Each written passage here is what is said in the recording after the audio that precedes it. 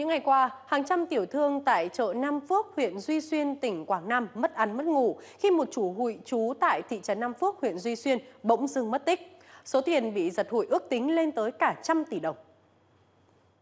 Ghé chợ Nam Phước, huyện Duy Xuyên, hầu hết tiểu thương đều thẫn thờ, khóc cả nước mắt. Có khoảng 80 đến 90% người buôn bán ở chợ tham gia chơi hụi với một người tên Linh. Mỗi ngày, người góp ít từ 10 đến 20 nghìn đồng, người góp nhiều thì vài trăm ngàn đồng. Khi chủ hụi mất tích, người mất khoảng vài chục triệu hoặc vài trăm triệu, nhiều người mất từ 1 đến 2 tỷ đồng.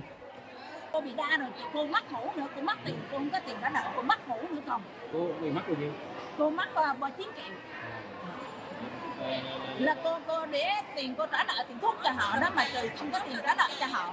Mà bị- từ hai giờ đêm là được đi cho- đi mà nói hốt thì nó không có nó còn để nó đưa. Để mà được nó nó cùng nộp đơn gì nộp đơn?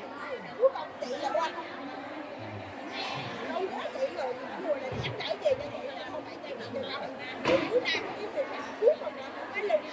Giá chị phải đưa cho chị để chị cho chị cho chị ra thôi thuốc không là cái lùng ai nữa nó được những người là bây giờ bốc sữa thì nó nó này nó khác với chị nữa rồi bố ấy nó bụi luôn ngọt ngọt từ bụi bốc sữa này thì cái này nó có lùng thuốc để cho cho dùng. Cái tụi chị không ăn chị cũng cho ở tù không tù chị còn là đi kia là tử hành cũng không có lượng quá sức gì Được biết, bà Linh làm chủ đường dây biêu hụi tại địa phương khoảng 20 năm nay và rất uy tín nên có rất nhiều người tin tưởng góp tiền chơi biêu hụi và chỉ ghi vào sổ chứ không hề có giấy tờ gì liên quan.